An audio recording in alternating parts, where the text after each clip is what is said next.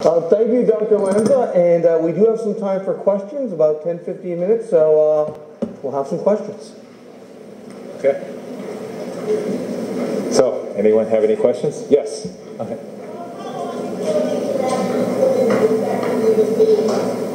So, so the question was, was how long would it be before these are actually put into effect in human beings? So the answer to that is, is that it depends on the particular disease. As you know, as I mentioned, we're already starting in the eye for macular degeneration, but also we're hope that they're going to get into the clinic for, say, lupus or multiple sclerosis in the next year or two. Uh, and then, of course, depending on the disease, it may take more time. So it's going to differ from disease to disease. Parkinson's disease. So she asked, what about Parkinson's disease? We know, that's an that's a, uh, excellent question. We can actually now make very large amounts of dopaminergic neurons, and in fact, these have been actually tested and made from embryonic stem cells, and they actually work in rodent models. So I believe there are several groups, and we're actually working with some of them, that are hoping to get into the clinic for that as well. Yes?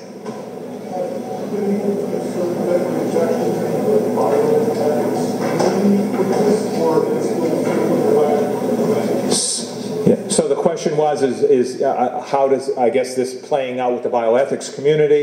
And, you know, I, I had actually started out in medical school, you know, trying to cure diseases and never thought I'd be having to deal with all these theological questions. But yes, at first, of course, some of, you know, I, I wasn't in a position to really be taken side with one religion or the other. But some of the, uh, the religions obviously are opposed to destroying the embryo. So I think we've solved the problem of destroying the embryo. There's still some objections to some groups to even IVF, to even using that approach.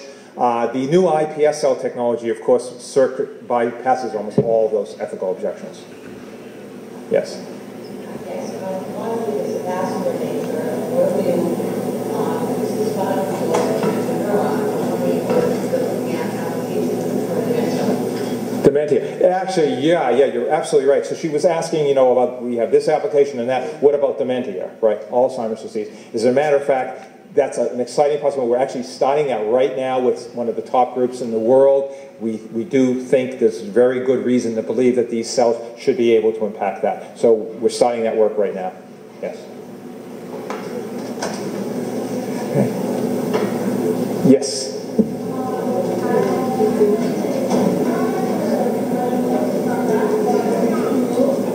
Yeah,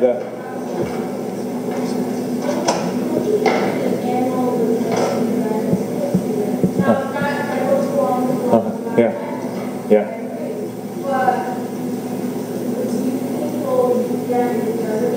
Okay. So the question was, as she was mentioning the uh, the, the gaur uh, that we had cloned, and then she was saying that an animal is dead, it's meant to be dead. You know, there's some ethical questions there, and of course there are a lot of ethical questions. In that particular case, this was an endangered animal, and this was a cell animal that had just died, and so what we were doing was simply bringing back genes that would have otherwise been lost from the planet forever and reintroducing them. Uh, for extinct animals, yes, that's a very real, serious question. I mean, you know, I don't know, you know, whether, who wants to have, you know, a Neanderthal or a woolly mammoth or a dinosaur. I mean, this is out of my pay raise uh, category, I should say. But, uh, but yes, I'm concerned. I mean, I, my feeling personally is, is that if the habitat still exists and we, for instance, like in the bucardo Mountain goat, shot them to death just as trophies, and there's a way to, to, to, to, bring them back, you know, that we may have some bit of an obligation there. Uh, but you're right, we're now in a new world and some of those habitats aren't there. If you brought back the woolly mammoth, where would it be? What animals would it displace? You know, certainly for a T-Rex or a dinosaur, which is not very likely with this technology, that would pose more serious ethical questions. So she said, will people try to do that? Sure course. uh, but hopefully society will, you know, will put some rules in place, you know, to try to limit that. You know, it's the same with cloning. You know, it's illegal to do that. Certainly, you know, I'm personally uh, uh, against, you know, cloning humans. Certainly, I think that there are serious ethical questions there and, and safety issues, and so, you know, you know, I, I, think almost every reputable scientist in the world is opposed to that. Uh, at one point, there was the, the World Health Organization tried to put in a global uh, laws to prevent that, but the Bush administration knocked it down. So, because uh, they, they, were just trying to kill even the medical applications. But hopefully, they will revisit that and, and put some uh, some reason into this field. Yes. Yes. A timeline on which neural cells. So yeah, so there are you know a number of uh, you know neural potential applications you know, so there are oligodendrocytes and glial cells, and uh, as the woman mentioned, that you know, Parkinson's, the, the dopaminergic neurons. So all of those are actually on the front line because it turns out we can actually make those cell types easier than many other cell types. So those are actually now in preclinical testing, and I know there are groups that want to move those into the clinic. We have some indications as well. What's that?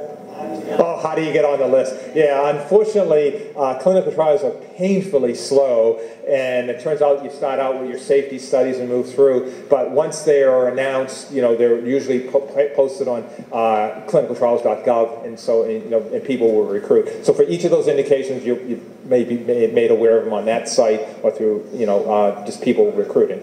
Okay. Yes.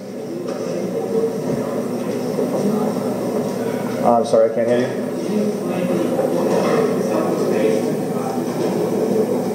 Um, I'm still, uh, I'm, with that?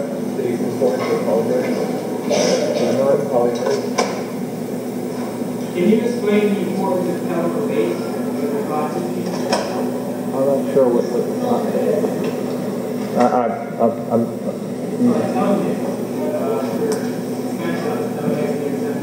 oh, telomerase. Oh, yeah, yeah, yeah. So he wants to know what's the importance of telomerase. Okay, so what happens is, is that our cells can only live so, so many times. So they divide X number of times and then they will die. And that's built into the cell. And it turns out on the end of your chromosomes, there are little bits of DNA known as telomeres. And every time your cells in the body divide, they get shorter and shorter. And then when they reach a certain critical thing, the cells die. So we have death built into us.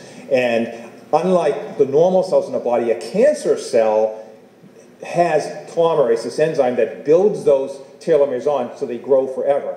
And so when we talk about an embryonic stem cell or an iPS cell, they are telomerase positive, which means they're immortal. They will grow forever. But the second they start differentiating into a body cell, as to say a neuron or a blood cell, that shuts off and then they become mortal and the clock starts ticking.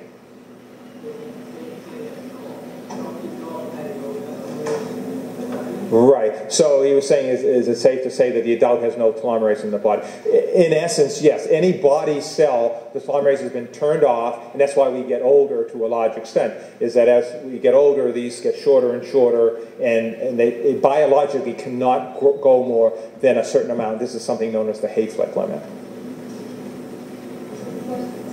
Okay. Oh, yeah. In regards to um, there was some research on AIDS and how it could possibly uh-huh. help with that. Can you expand on that? Like what research has been done or what could be done with further technology expansions in stem cell research? Okay. So the question was, is uh, you know AIDS and, and how this might be able to help there. Uh, you know, we're not doing that work ourselves, but I mean, again, uh, as you know, the AIDS virus, for instance, when it infects your, your immune cells, uh, it has to get in through uh, certain receptors on the cell. So what happens is, is that you can actually take a cell from a patient and you can knock out that receptor and then if you were able to make new immune cells, those cells could be transfused back into the patient and the body and the, the virus wouldn't be able to get back in. So, so that's, there's work like that actually underway. How, how far along is it? Uh, there, there's some other approaches that are doing similar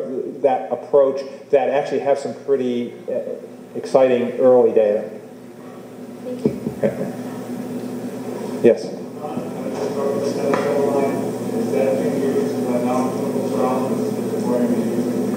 So the question is, is the non-destructive embryonic stem cell line, is that being used now or going to be used in clinical trials? So we actually have lines now that are, are made in our GMP facility that are, that are up to snuff for uh, use in patients. And so we have them and our intent is to use them in future clinical trials. We still need to go through the FDA and make sure everything's okay though first.